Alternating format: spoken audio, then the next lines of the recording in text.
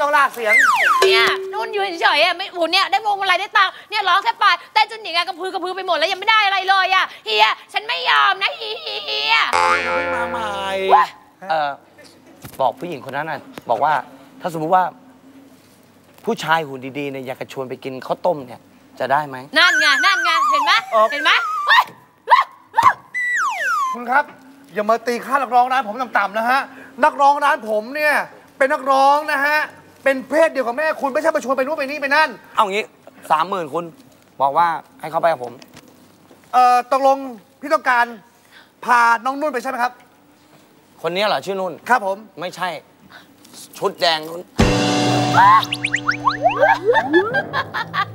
เห็นไหมนุ่น สุดท้ายโชคก็เข้าข้างฉัน โอเคโอเคขอบคุณมากครับ เดี๋ยวคุณไปกับผมได้เลยนะเดี๋ครับยวอะไรของคุณเองเนี่ย เดี๋ยวทำอะไรลงไปอะรู้ตัวหรือเปล่า ไม่ได้ทำอะไร ผมบอกว่า ผมแค่อยากจะชวนเขาไปกินข้าวต้ม แล้วผมก็กลับบ้าน คุณก็ไปรอที่บ้าน รถก็อยู่ที่นี่ น้องน้องๆเดี๋ยวไปใจเย็นใจเย็น เดี๋ยวพี่จัดการเอง คุณต้องเข้าใจผม เจมส์ผมบอกว่าผมรักคุณในใจผมมีแต่คุณไปเคลียร์ไม่ต้องเคลียร์ก่อนไม่ต้องเคลียร์ไปเคลียร์เนาะเจมส์ผมรักคุณ ยังไงผมก็รักคุณ เอ้า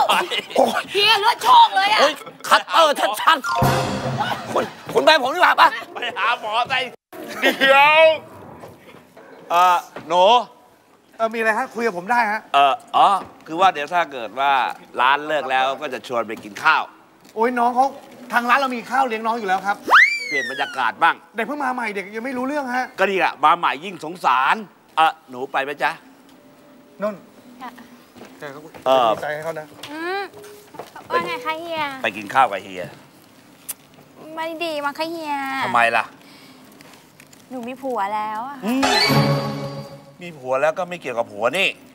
เดี๋ยวมันรู้เอาค่ะเฮียจะรู้ได้ไงเราเฮียไม่บอก หนูไม่บอก มันก็ไม่รู้ยังไงมันก็รู้อยู่ดีแหละ ฮะมันไม่ได้อยู่ที่นี่จะรู้ได้ไงอะนี่อยู่นี่ ผมผัวนุ่นครับเต็มปากเลย หนึ่งแสนรับรองครับข้าวต้มอย่างเดียว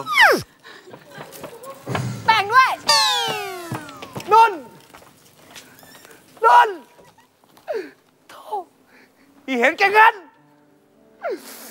ฉันไม่นึกเลย ฉันดึงเธอมาจากดินเพื่อจะเป็นดาว คุณเชื่อผมหรือยังล่ะ คุณผู้จัดการ ผู้หญิงเขาเนี่ย ไม่รักเราจริงหรอก ถึงแม้จะมีเงินเนี่ยก็ไม่สามารถจะคว้า เขามาครอบครองได้หรอก ผมเสียใจ ผมไม่รู้จะหันหน้าเข้าหาใคร น้ำผมล่ะ พอจะดูแลคุณได้ไหม ฉันคงไม่มีใครแล้วแหละเจม